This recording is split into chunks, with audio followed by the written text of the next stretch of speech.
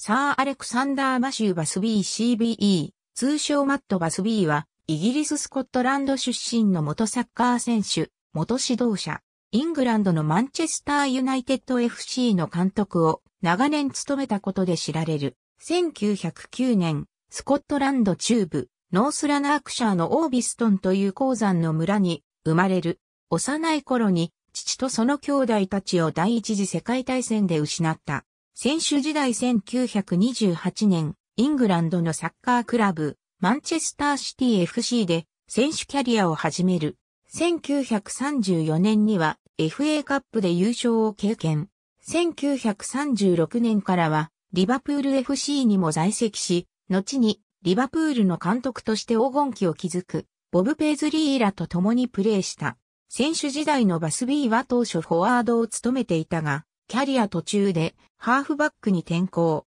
足技に優れ、特にパスの能力に長けた選手だった。スコットランド代表にも選出され、公式記録としては、1933年10月5日のブリティッシュホームチャンピオンシップ対ウェールズ戦が代表初キャップとなっている。1939年第二次世界大戦勃発に伴い、バスビーはプロ選手生活の中断を余儀なくされた。その後リバプールの他の選手、スタッフたちと同様に、バスビーもイギリス陸軍、王立リバプール連隊に従軍した。また、戦時中も非公式ながらプレーを続け、チェルシー FC やミドルズブラ FC、レディング FC などで試合に参加した記録が残っている。指導者の道へ戦争が終わった頃、36歳になっていたバスビーは、リバプール側から打診されたコーチングスタッフ職の話を断り、1946年10月より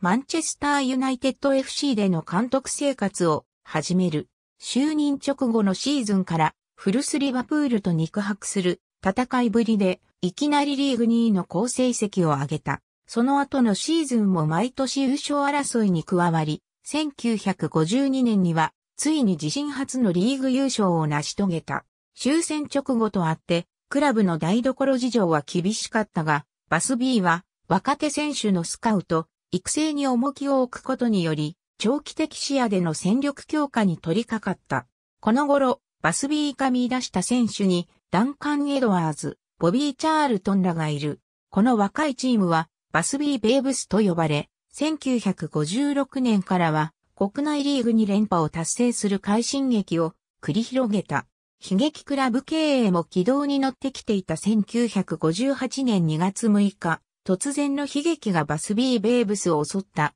UEFA チャンピオンズカップを戦うため、ユーゴスラビアを訪れたユナイテッドの一行は、強行日程のため試合後すぐに飛行機でマンチェスターへの帰路に着いた。給油のため西ドイツのミュンヘンリーム空港に立ち寄った際、当時ヨーロッパを襲っていた大寒波の影響で飛行機が離陸に失敗、滑走路外の民家に激突し大破した。この事故で首相ダンカン・エドワーズを含むユナイテッドの選手8名とクラブスタッフ3名が死亡。またバス B 自身も重傷を負い、一時は生命も危ぶまれた。エドワーズらイングランド代表選手を抱え、国内リーグの優勝候補筆頭として、チームが円熟味を増していた矢先の出来事だっただけに、この事故はマンチェスターのみならず、イギリス全土に大きな悲しみを与えた。この年、バスビーに大英帝国勲章が贈られている。悲願達成オールドトラッフォード正面玄関に立つ、マット・バスビーの銅像一時はフットボールへの情熱を失ったバスビーだったが、夫人らの説得もあり翌シーズンから現場に復帰。同じく事故のショックから立ち直ったボビー・チャールトンをチームの柱に据え、クラブの立て直しに着手した。1960年代に入ると、ジョージ・ベストやデニス・ローといった才能が次々に頭角を現し、1963年の FA カップ優勝、1965年と1967年には国内リーグも制した。そして迎えた1968年5月29日、ロンドンのウェンブリースタジアムで行われたチャンピオンズカップ決勝戦において、ベンフィカを4から1で破り、10年前道半ばで、ついえた悲願を達成した。ユナイテッドが挙げた4点の中には、主将ボビー・チャールトンの2得点が含まれている。同年、チャンピオンズカップ優勝の功績を称えられ、バスビーにナイトの称号が与えられた。勇退、その後1969年、バスビーはユナイテッドの監督職を後進に一旦譲るが、クラブが成績不振に陥ったことにより、1970年から再度1シーズン指揮を取った。1971年に優退。その後も取締役としてクラブに残り、行く末を見守り続けた。監督としての通算成績は、計24シーズンで1159試合、581勝271分け307敗。勝率は5割を超える。1994年1月20日、癌のため死去。84歳だった。1999年、スペインバルセロナのカンプノーで行われた UEFA チャンピオンズリーグの決勝戦にて、マンチェスターユナイテッドは、バイエルンミュンヘンを劇的な逆転勝利で下し、